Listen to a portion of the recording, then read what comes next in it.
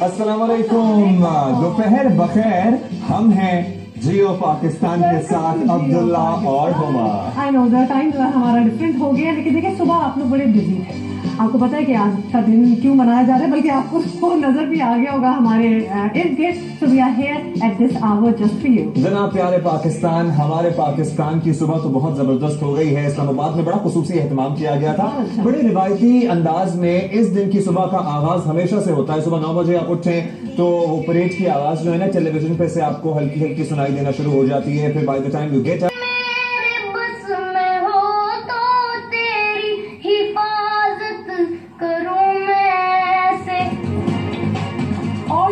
Pakistan کی دریافت singing sensation ارشمن بھی یوم پاکستان کی سیلیبریشن میں ہوں گے ہمارے ساتھ۔